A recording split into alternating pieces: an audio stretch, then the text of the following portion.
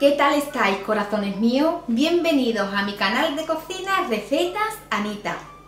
Ya está aquí el día de San Valentín, pues qué mejor que una receta de corazón de hojaldre, rápida y fácil. Añadimos queso crema de untar en una masa de hojaldre.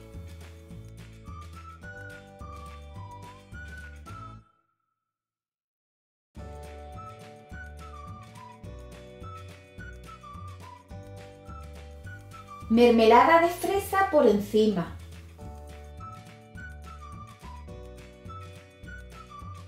Enrollamos la masa y la cortamos a trozos. He usado dos masas de hojaldre.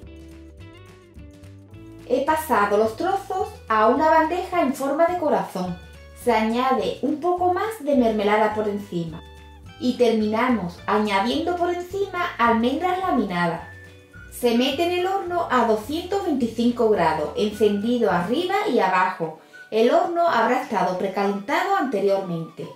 Según el horno tardará entre 10 a 15 minutos. Y más fácil, imposible. Aquí la tenemos.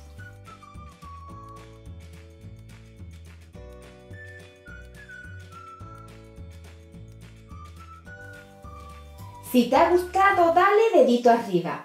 En la ventanita que aparece en la pantalla te dejo otras recetas fáciles para el día de San Valentín.